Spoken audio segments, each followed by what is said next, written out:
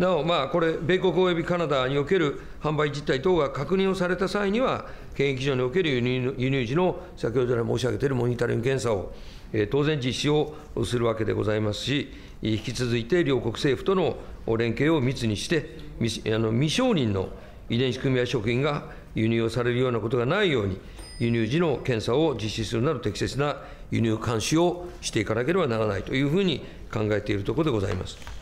玉木雄一郎君。科学的にこれ、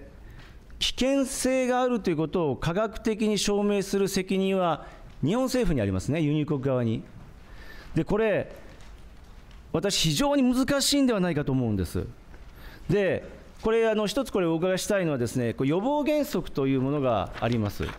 でこれはですね、ここに書いてますけれども、人の健康や環境に対する深刻かつ不可逆的なリスクがあると予想される場合、因果関係について十分な科学的な確実性がなくともですね、事前に予防的措置を取ることを求めると、WTO の SPS 協定の中ではですね、非常に条件は限定されますけれども、こうした予防原則は一定程度認められているとあの認識しています。しかし、TPP はですね、第7の9条の2項で、科学的な証拠に基づいていることを確保、英語で言うとエンシュアーという言葉を使ってますが、このことをですね、規制する側に厳しく求めるようになっています。本当にこれ、先ほどのような非常に高度なですね、バイオテクノロジーを使っていたもの、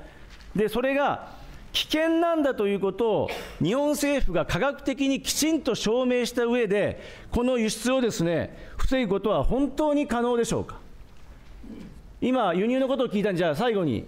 えー、松本大臣、表示義務についてお伺いしたいと思いますが、予防原則に基づいて、そうした必ずしも科学的確実性がないけれども、やはり日本国民の健康を考えて、予防的に表示義務を課すことは、TPP が入っても、これ、できますか、本当に、お答えください松本国務大臣。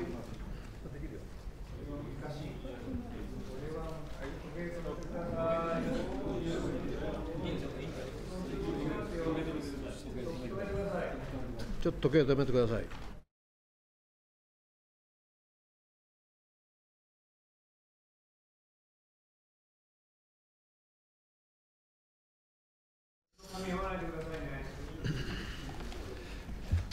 えー、TPP に関しては、わが国で受け入れられる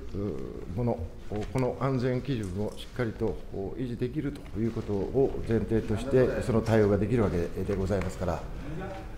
あこの安全ということについては、今後も維持がされるということにつながると思います。玉木雄一郎君。答えてない。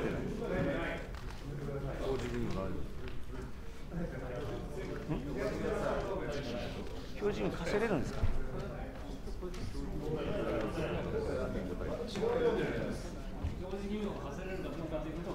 もう一度質問、玉木さん。安倍内閣総理大臣。総理、総理聞いて、あのまあ、基本的な考え方として、す、えー、で、に、えーまあ、答弁をさせていただいているわけでありますが、この TPP 協定の貿易の、えー、技術的障害、TBT 昭和ですね、WTO の TBT 協定とこれ同様でありまして、表示ルールなどを定める際の、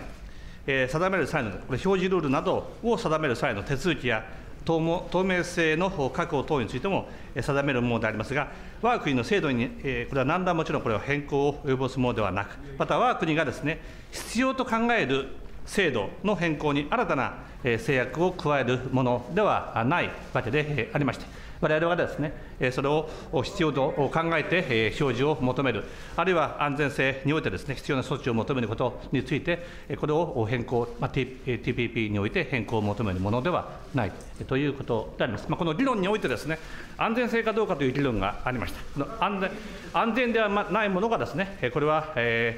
一般家庭に届けられるということはまず絶対ないわけであります。その上において、これ表示義務においてはですね、これ表示義務においては消費者の選択、えー、であります。まあ、これについては先ほど松本大臣から答弁をさせていただきました。さらに TPP でどういう変化があるかということについては、今申し上げましたように TPP において、WTO 上のルールが変わるということはないということでございます。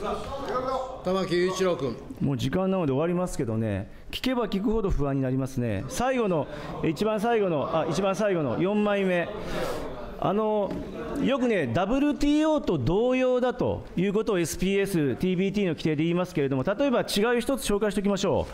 この第7の17条に、協力的な技術的協議というのがあります。でこれはご覧いただければ分かるように、自国の貿易に悪影響を及ぼす恐れがあると認めるものについて討議するために、協力的な技術的協議を、まあ、求めることができるとなってましてね。でさらにその中身については、すべての連絡、すべての文書は秘密のものとして取り扱うということになってるんですよ。黒塗りでこれまでもいろんなことが秘密でしたけれども、これから我々のですね国民の健康や安全に関することも秘密裏にですね闇の中で決まったりやめられたりすることが TPP の中では条文上可能になっていることを指摘申し上げて質問を終わりたいと思います。